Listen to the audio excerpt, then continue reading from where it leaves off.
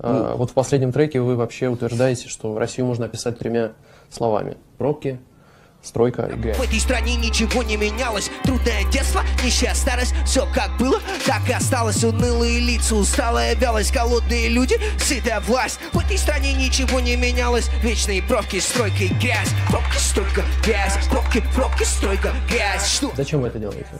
Э, Ну, вообще, на самом деле, Децл как таковой был всегда голосом поколения своего. Вот. И я им остался.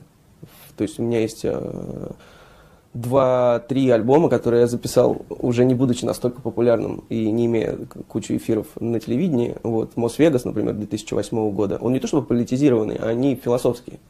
И «Пробки, стройка, грязь» трек, он тоже более-менее философский.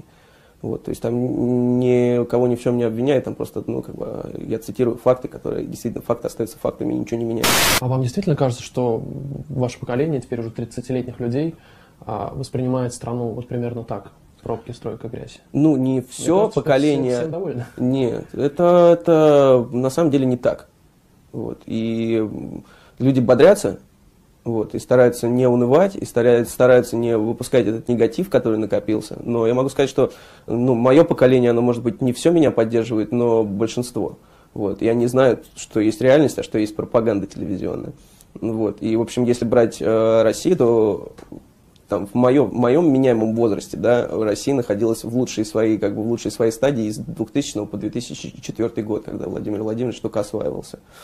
А дальше что-то непонятное началось. Вот, видимо, там освоились, поняли, как, значит, э, работает схема и как ее отжимать. И, соответственно, дальше началось. У нас как бы страна такая, что, не знаю, все больше и больше усиливается контроль, непонятно для чего, непонятно зачем, непонятно почему.